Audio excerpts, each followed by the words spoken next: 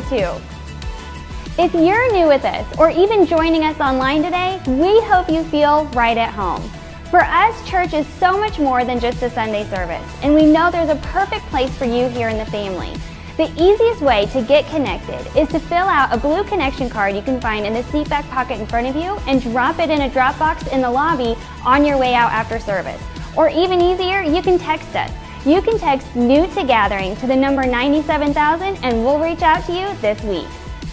Hey, thanks again for being here this morning. Make sure you stay connected with us throughout the week on Facebook and Instagram. We know God has something unique for each of us this morning, so let's prepare our hearts now to worship Him together.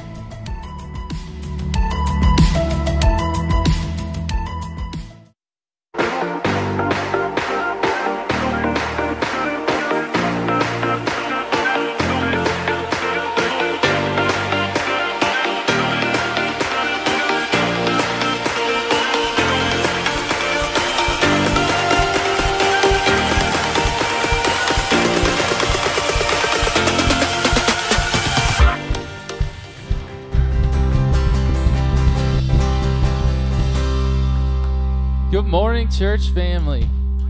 And I, I always think about what should I say up here. I always try to come up with something good, but I was just thinking about this last week. I felt so convicted. Just Jesus is enough.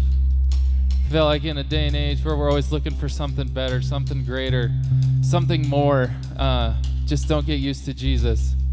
He is enough. So let's sing to him this morning. Let's let him know how, how awesome he is and how much we love him.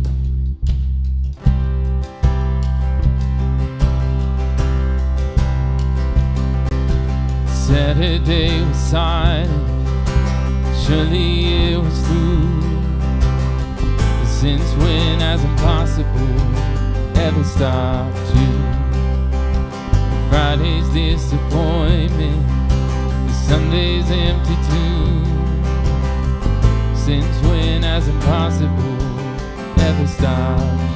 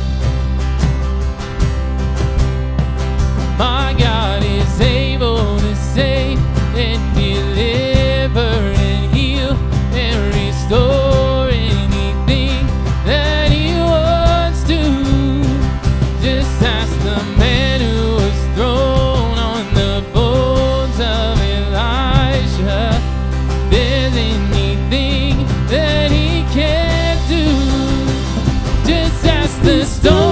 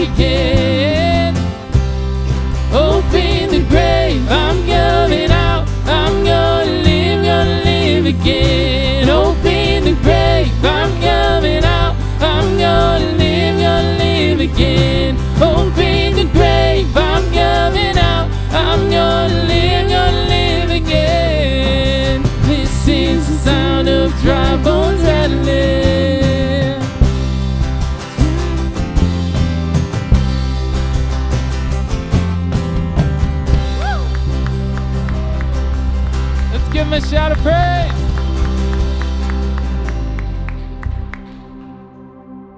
So we're going to do that new song again this Sunday. It's called Ruins. It's just all about what God can do through the midst of terrible things. And it's also just a, a visualization of what God's, God does through us when he, uh, when he saves us.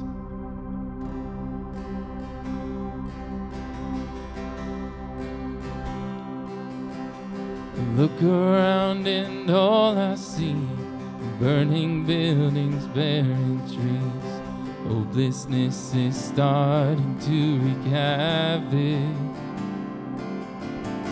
Son of man, I know you see the deepest depths unknown to me. You have planted seeds among the ashes. You rebuild, you restore all that's broken from the ruins. You redeem, you restore all that's stolen from your children. That's what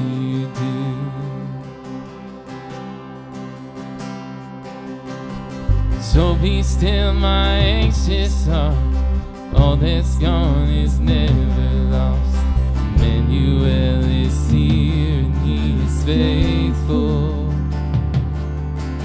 So I won't let my praises stop. I sing it from these rubbled rocks. Cause I know you are good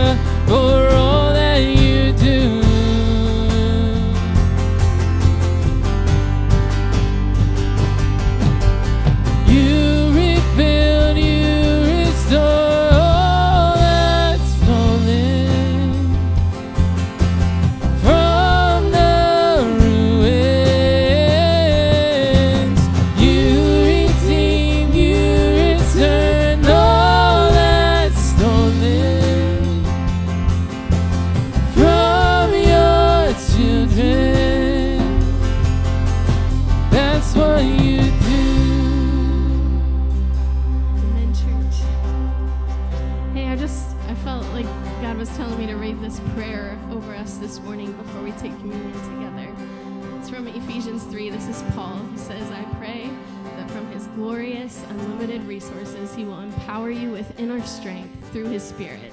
And then Christ will make his home in your hearts as you trust in him. Your roots will grow down deep into God's love and keep you strong. And may you have the power to understand, as all God's people should, how wide and how long, how high and how deep His love really is. May you experience the love of Christ, though it is too great to understand fully. And then you will be made complete with all the fullness of life and power that comes from our God. Now, all glory be to God, who is able, through his mighty work out through his mighty power at work within us to accomplish infinitely more than we might ask or imagine. Glory to him in this church and in Christ Jesus through all generations forever and ever. Amen. This is this is the truth of what God wants to do in and through his people. Like he is a good dad that wants to give his kids good gifts. And one of the the best, the best gift that God gave to his children is sending his only son to live a sinless life for us so that we could be redeemed to relationship with our Father again through the life and death and resurrection of Jesus. And that's what we're going to celebrate in this moment together as we take communion. So if you're here in this place and that's your story, if you have given your life to Jesus, if he is your Lord, then we're going to come forward and celebrate that together in this moment.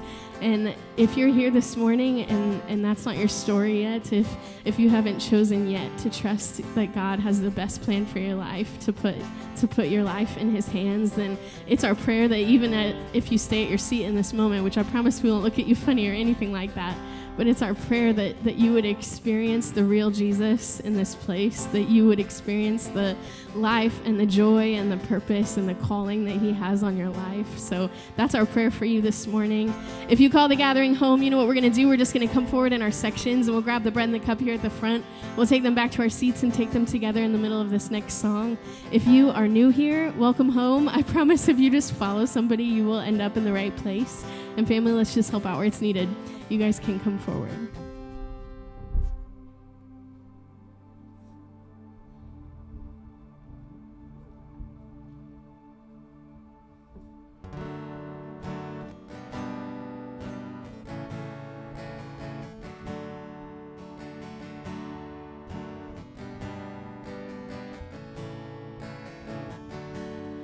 In the darkness we were waiting without hope and without light. Till from heaven you came running, there was mercy in your eyes to fulfill the law and prophets. To a virgin came the word from a throne of endless glory to a cradle in the dirt.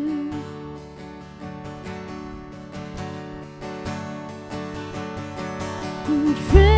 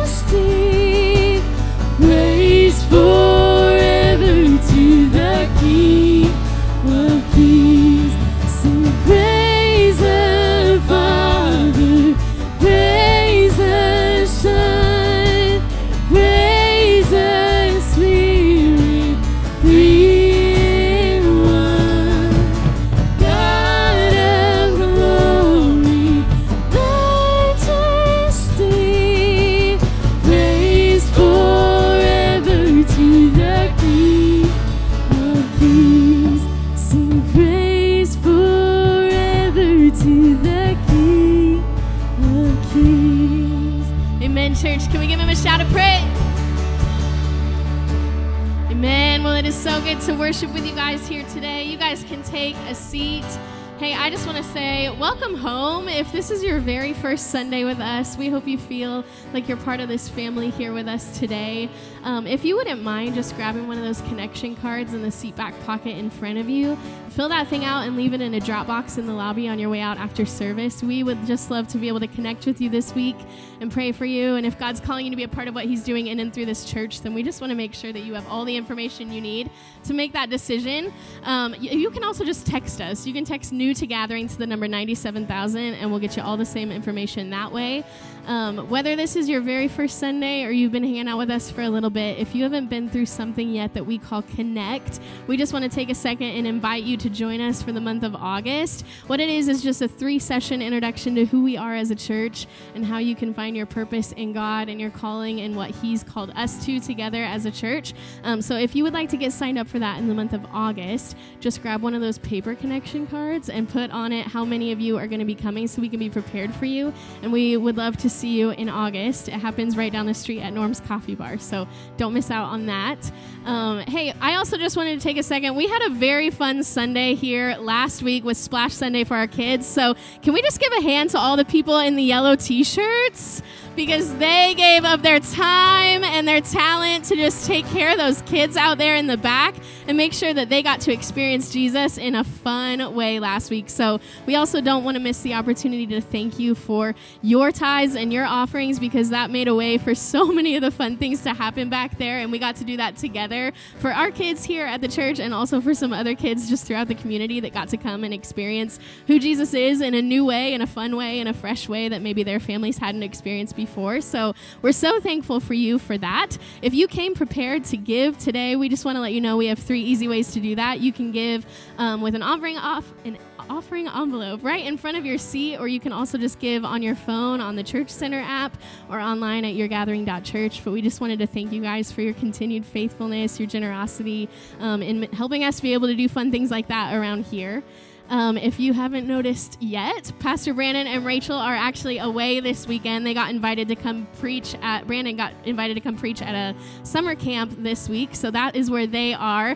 Um, but we actually get to hear a message from one of our favorite pastors. His name is Earl McClellan. He is a pastor at Shoreline City in the Dallas area. Um, but this message that we get to see today is actually a message that he just preached not that long ago at Christ Fellowship in Florida, where Pastor Greg and Cynthia were actually on staff. So we have some connections with them. They are super gracious to let us watch this message this morning. So let's just settle in and prepare our hearts for kingdom culture versus cancel culture. We have been in a series called TikTok Theology. Now, this has been fun. How many of you actually have TikTok? Every location has TikTok. Yeah, I, I, didn't think many of us did. I actually don't have TikTok either. My wife periodically will ask us to do some TikTok dance, and I am not interested in doing those dances. But but this TikTok theology, there is some word. There, there's a there's a culture that's out there in this world. There's a way that people are doing things, and today we're going to dig into the Bible, and I think all of us are going to be pushed forward. If you have your Bibles, why don't you open up with me to Matthew chapter 5. Matthew chapter 5. The Gospel of Matthew chapter 5. And we're going to read some words from Jesus here. These words may be new for some of us, but no matter where you are on the spiritual journey today, all of us are going to be pushed forward in our walk with God. Matthew chapter 5. Let's start reading in verse 21. Jesus says this, okay? You have heard that it was said to the people long ago, You shall not murder. And anyone who murders will be subject, subject to judgment. Verse 22. But I tell you, but I tell you that anyone who is angry with a brother or sister will be subject to judgment. Whoa. Okay, let's keep on going. Let's go to verse 27. We're not going to like this verse. Uh, verse 27. You have heard that it was said, You shall not commit adultery. But I tell you, everybody say, But I tell you. But I tell you that anyone who looks at a woman lustfully has already committed adultery with her in his heart. Just keep looking straight right now. and Just keep looking straight verse 43. Again, I'm not making this up. You can read this in your own Bible. You can go to your own phone right now. I'm not, these are all right here. Okay, I did not put this in here. And it's in red. You have heard that it was said, verse uh, chapter 5, verse number 43. You have heard that it was said, love your neighbor and hate your enemy. I like that. Some of us would like to put in there, love your neighbor, hate your in laws. But Sometimes those words can be interchangeable, enemy and in laws. But I tell you, love your mother in law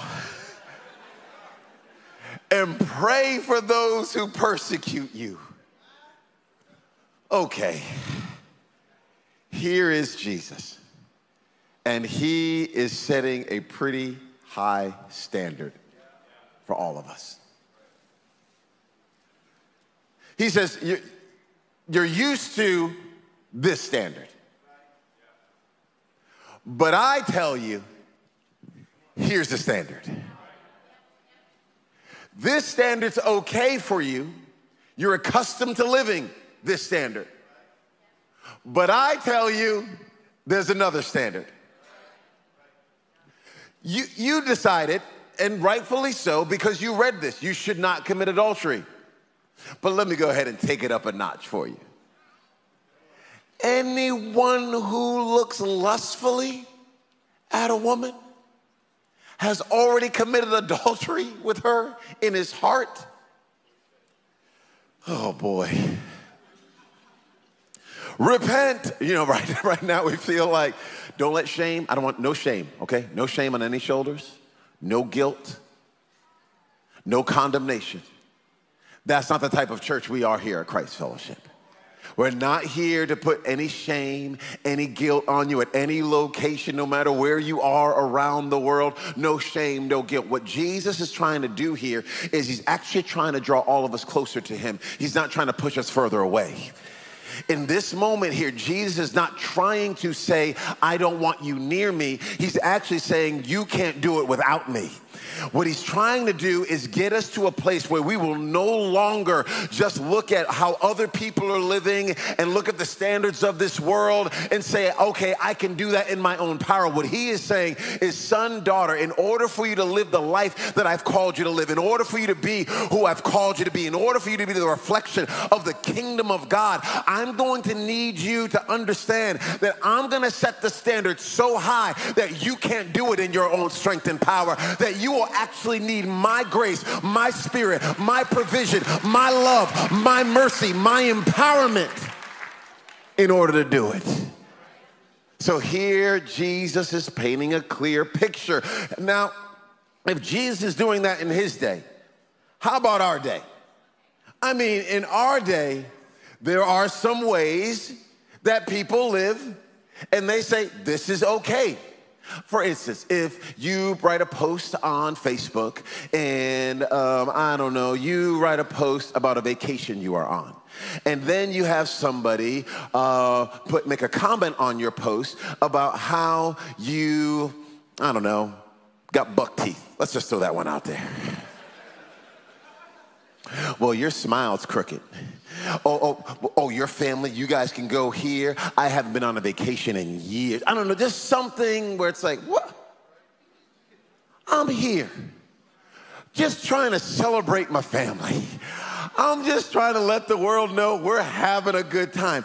And then this friend, ex friend from high school has the audacity to put some nasty comment where I'm just trying to bring some light to the world. Now they want to bring some shade. They want to rain on my parade. Oh, really? Well, let me go to you. Can you feel it already? Can you feel it? Can you feel it?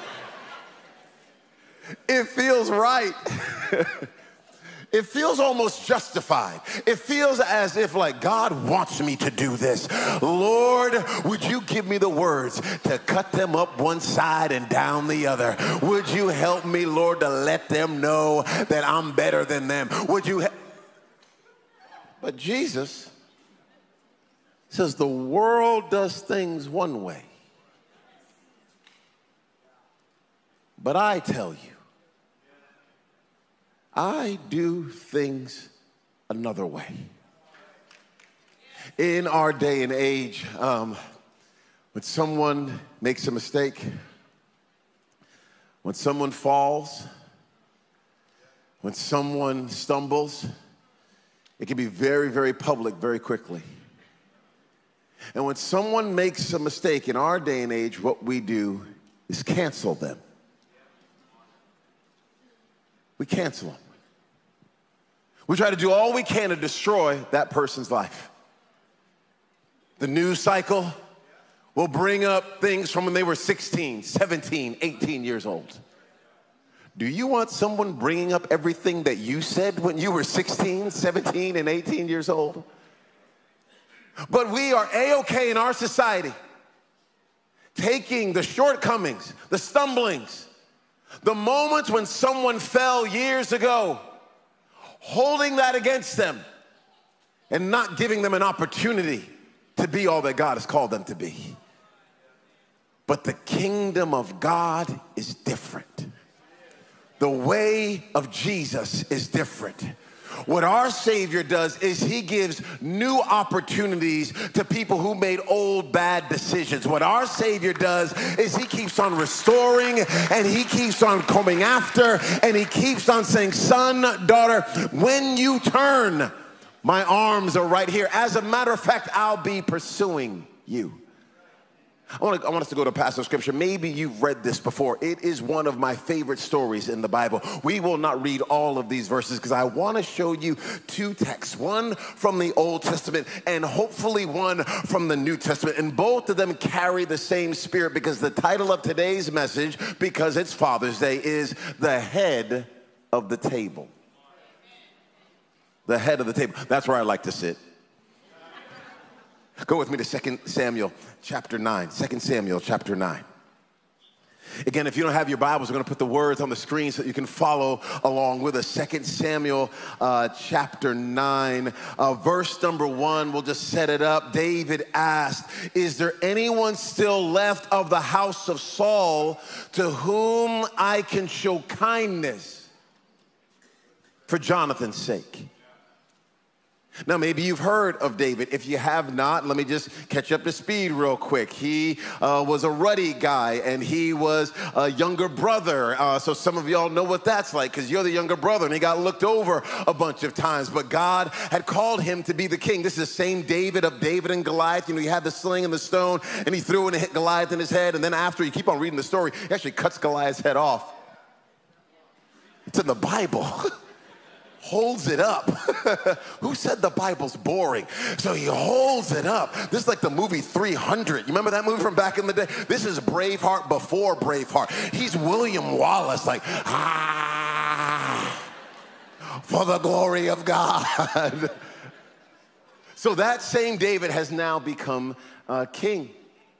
He had a friend named uh, Jonathan. Jonathan was in line to, to actually have the spot that David has, but God had picked David. So now Jonathan, his friend, has died. Saul, the old king, has died. And any time the old king, uh, a new king comes into power, he would tend to kill off all the line of the former king, would kill him. This is, you know, just like in the movies. Like, I don't want you trying to come and take my throne, so I'm gonna go and kill you. So David now is sitting there on his throne and he says, Is there anyone left of the old line to whom I can show kindness? I don't wanna kill him, I don't wanna cancel him, I wanna show him kindness. There was a standard, there was a way kings did things. But David shows up and he does it in a different way. One of the servants shows up, and this guy's name is Ziba. And if your name is Ziba, God bless you. Uh, I don't know anybody named Ziba, but, but, but I'm sure it's a wonderful name. Ziba standing there, and Ziba says, I know somebody. His name is Mephibosheth, and he lives in this place called Lo Debar. Now, Lo Debar uh, that does not maybe mean anything to us, but the name actually means like nowhere. His son Mephibosheth, Jonathan's son Mephibosheth, is living in a spot called nowhere. That, that's, that's where he's living. No pasture. Some people say it was like a ghetto in biblical times. He is living in nowhere. And the king is interested in finding this young man to show him kindness. Now, you don't have time to go here right now, okay? Uh, but later on, you can read 2 Samuel chapter 4, and you can read what happened to Mephibosheth. You'll find out that when the old kings died, when Saul died, and when Jonathan died, the nurse picked up Mephibosheth when he was five years old and started running with him to hurry and leave because she didn't want anyone to kill him. And when she's running with him, she stumbles. He falls. And at five years old, he becomes disabled.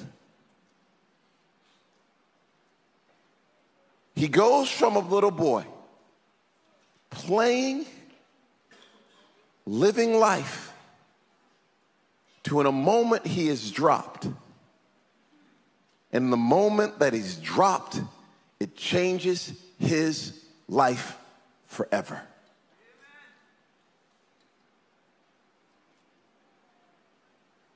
I just wonder if we've forgotten what people actually go through in life. I wonder if we've forgotten that real people go through real problems real pains, and real struggles. Like what, what it's, e- it's easy for us to look at someone and to think because they are this color or went to this school or drive this car that maybe they've always had it together. But if you could pause for just a little while, you might know that somebody got dropped when they were five. And when they were dropped when they were five years old, it just changed their whole life from that point on. Like maybe the reason they don't trust men is not just because they're mean and nasty. Maybe men were mean to them when they were five, six, or seven years old. So anytime a guy gets close, that's why she pushes guys away. Maybe the reason your coworker can't stand to have a boss is because every single boss your coworker has ever had has always demeaned and hurt and disrespected him or her. Maybe individuals are how they are not because they want to be nasty. Maybe something happened to them that was not even their fault and now they are living their life with a limp and they wish they didn't have the limp but they have the limp. And I'm just wondering are there any kings out there that are willing to be like this King David and like our King Jesus and say, I'm coming for you. I'm coming for you. And I'm not coming to cancel you. I'm coming to bring you kindness. So now, now, now, uh, David, David uh, sends for Mephibosheth. Mephibosheth hears about it. I cannot imagine what's going through Mephibosheth's mind. He's now thinking, wait, why does the king want to see me? Why does the king want, matter of fact, this is what the Mephibosheth says. Go with me all the way down to, ooh, let me pick a verse. Okay, look at this in verse number six. When Mephibosheth, son of Jonathan, the son of Saul, came to David, he bowed down to pay him honor. David said, Mephibosheth, at your service, he replied. David had to tell him, Don't be afraid. For I will surely show you kindness for the sake of your father, Jonathan. I will restore don't be afraid. You're going to be restored. And then he says, You will always eat at my table. You will always eat at my table.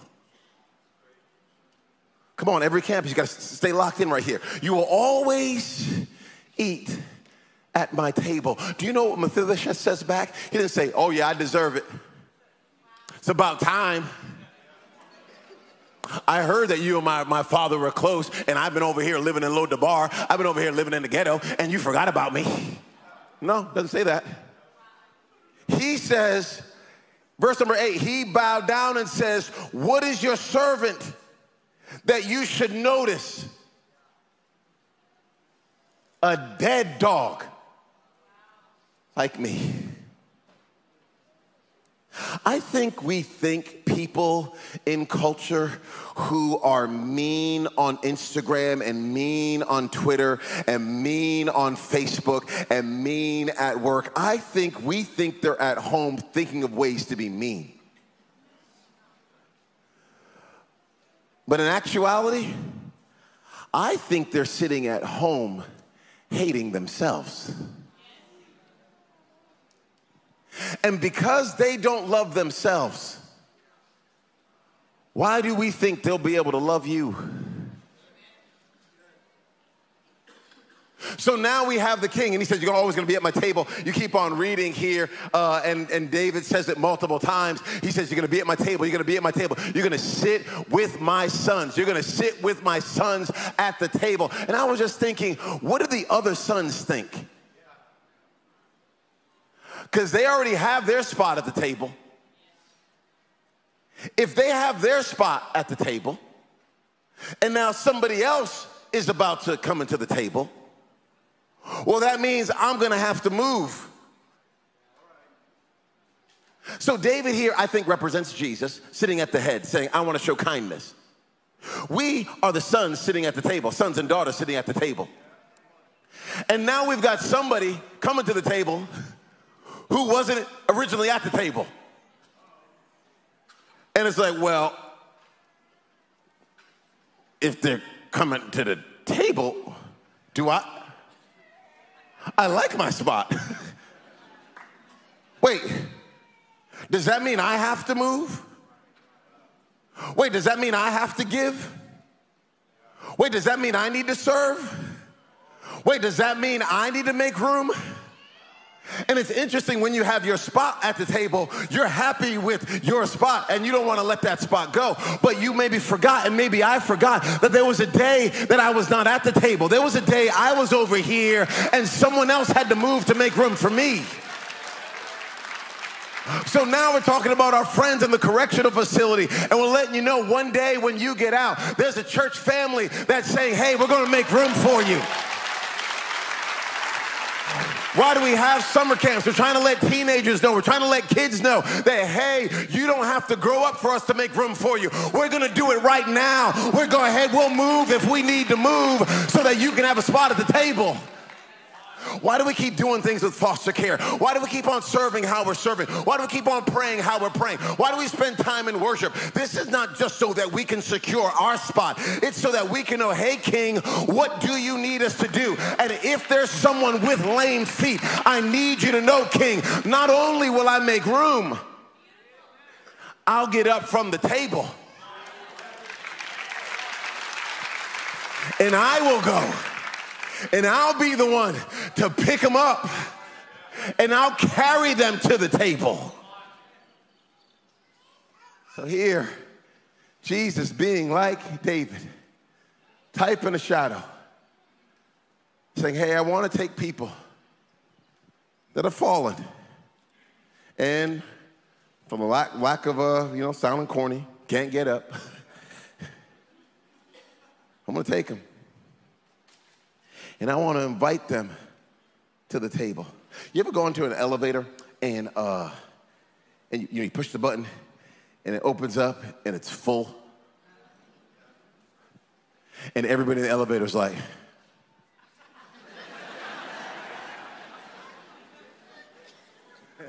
and you're like, ah, sorry, but I,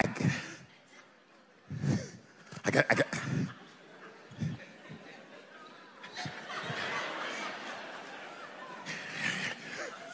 and you squeeze in, everybody else has to go. now you got people's hot breath on your neck, and nobody's looking at each other. Everybody's looking straight, but they can just feel. And then now you're like, ah, well, at least I'm in. And then it goes down one floor, stops again. And there's somebody else standing there looking into the elevator. And now you're in. So you're like,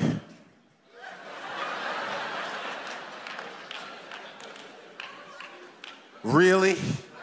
You can't see this is full? You, you can't see that there's no more space here. Now, one floor earlier, we were the ones like, sorry, sorry. It just takes one floor for us to go from outsider to insider. It takes one floor for us to go from, oh, I'm so sorry, to I can't stand you. And I just, I just am thankful for the spirit and the heart that is already here at Christ Fellowship. But be careful. The world has a culture.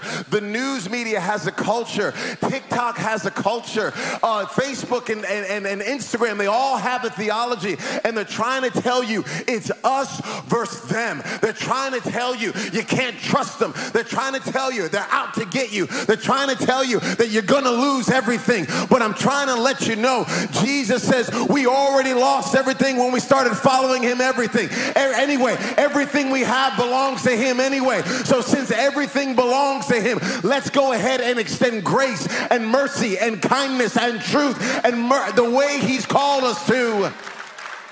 And let's make room at the table. Instead of saying, instead of saying, uh, you know, there's no seat. Let's be a church family that says, that says take my seat.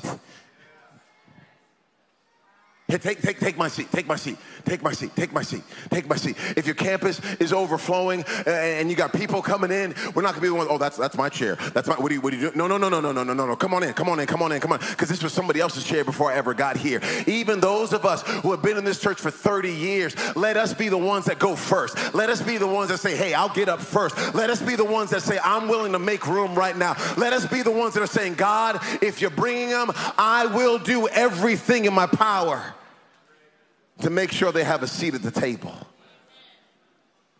Because it's easy to be at the table and criticize everybody who's not. And please, once they get to the table, let's not be surprised that they don't know all the table rules. Okay? Let, let, let's, just, let's just not be shocked that they're eating with their hands taking the plate. we have a, a, young lady on our staff team. We love her so much. She didn't do this with the plate. I mean, she didn't. She didn't do that. Um, but I mean, we're at the nicest. I mean, this wedding is so nice. It's it's at the Ritz. It is so nice. This couple has this full course. I mean, it's like four, or five course meal. This wedding is incredibly expensive, and we are there at the table. This couple in our church got married, and I'm not going to say the person's name who's on our staff, but she is there, and we are eating the food, and some people didn't finish their food, and she starts saying, "Hey, you, you're not to finish that?" And she starts taking people's food off of their plate, putting it in her purse. I.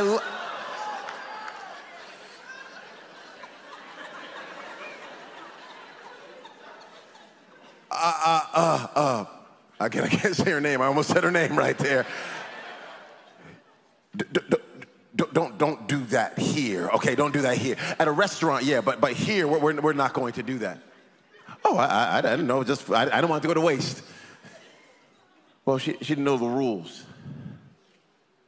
Let's not be surprised that when someone hasn't been sitting at the table for their entire life, that they don't understand the rules. When we say the book of Matthew, they don't even know what we're talking about. When they say lift your hands in church, they have no idea what we're talking about. When, when, when, when we say Jesus loves you, they might not really understand all that we're talking about. What we do as the followers of Jesus is we make space, we make room, and we allow them the opportunity to sit at the table and beca- begin to learn what it means to be at this table. That you're no longer some dead dog, that you're now a son and a daughter of all Almighty God, and Jesus has been pursuing you your entire life. Oh, okay, okay, okay. I told you I was going to give you Old Testament and New Testament. Uh, let, let, let, me give you this one. Let me give you this one too. Okay, because I, I just want to make sure we got text on both sides to say we're not canceling, we're kind. We're, we're, not, we're not pushing people away from the table. We're making space for them at the table. Look with me. Look with me in uh, Luke chapter 19. Luke chapter 19. Maybe you've heard this story. If you haven't, here it is. Luke chapter 19, verse number one. It says, Jesus entered Jericho and was passing through.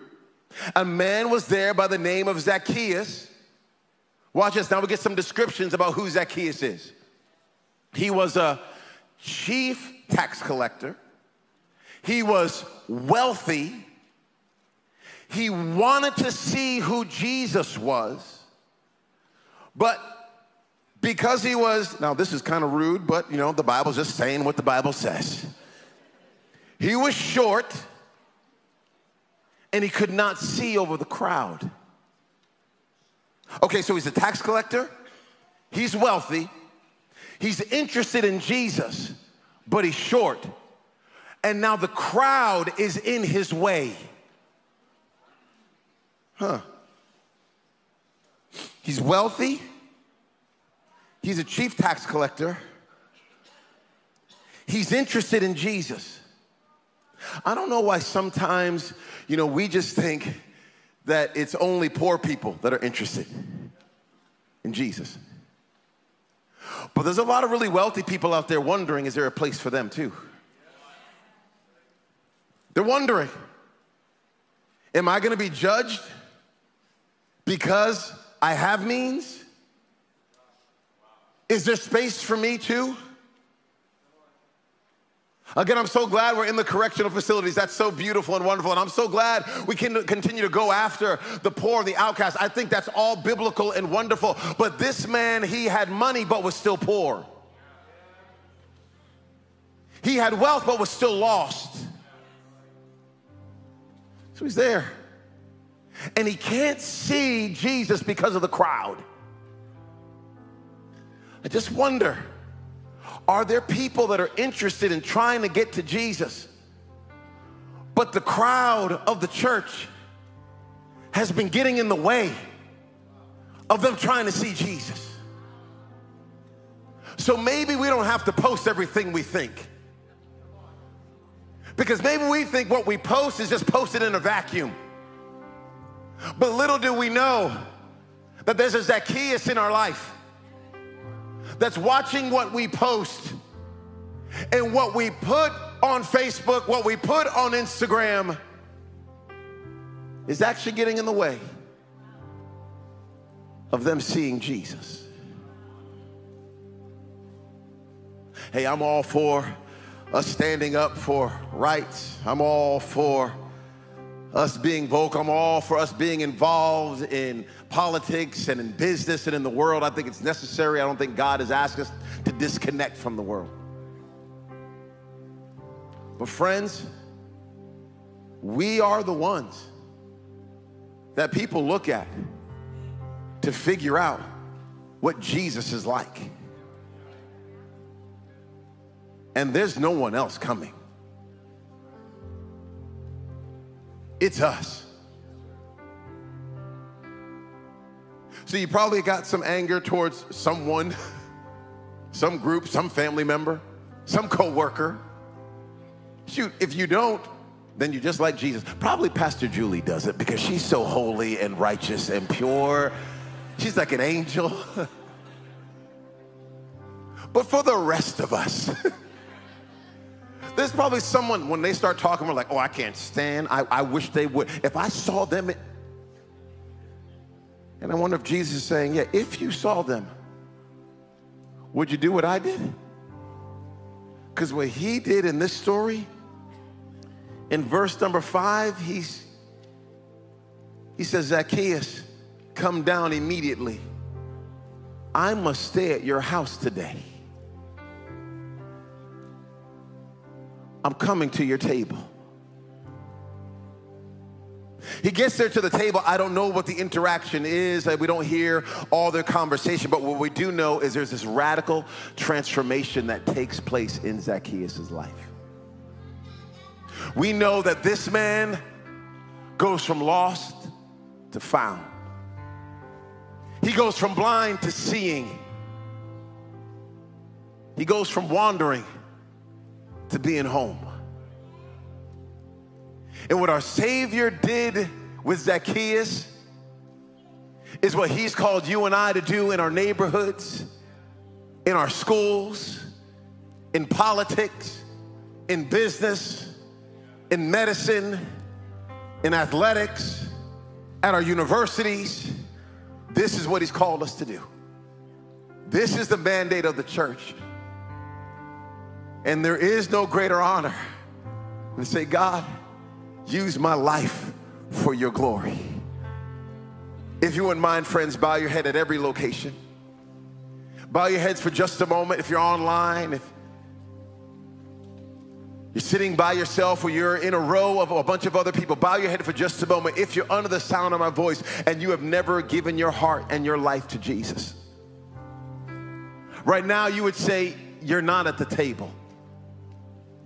Or maybe, maybe you would say there was a day you were at the table, but you've slipped away and you've gone another direction, and maybe you're living in Lo-Debar. You're in a place called nowhere, and you're feeling like you're all by yourself. And today, God is saying, Son, daughter, I have not forgotten about you. I know you by name. I want you to come home. If that's you at any of our locations, whether you're man or woman, tall or short, whether you have your PhD or your GED, if you have never given your heart to Christ, or at one point in time you did and you slipped away, and today you want to give your heart and your life to Him on the count of three, I want you to do something simple but something bold. I just want you to throw your hand in the air and say, Yes, that's me. I want to give my heart and my life to Christ. Ready? One, two, three. Just put your hand up in the air. You're saying, Yeah, that's me. I want to give my heart and my life to Christ. Friends at all of our locations online is saying, Yes, I want to give my heart and my life to Christ. This is beautiful.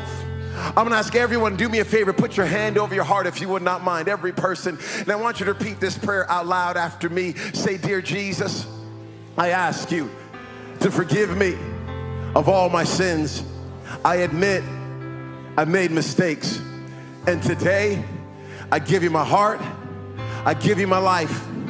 Give me the power to live for you. In Jesus' name. Amen and amen. Can we lift our heads up? Come on, clap our hands at every location. Hey, can, can we all just stand to our feet this morning? We don't want to miss an opportunity to just recognize and celebrate with those of you who might have prayed that prayer for the first time today. Um, if you wouldn't mind, just tell us on one of those connection cards and let us know so we can be praying for you and celebrate with you in the coming weeks. Um, man, we are so proud of you if you chose to put your life in Jesus' hands today, this morning. So let's just continue celebrating and honoring and praising Jesus. We're going to continue worshiping here together this morning.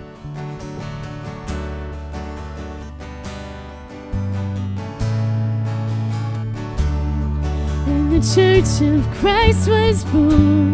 Then the Spirit lit the flame. Now this gospel truth old shall not kneel, shall not faint. By His blood and in His name, in His freedom I am free. For the love of Jesus Christ, who has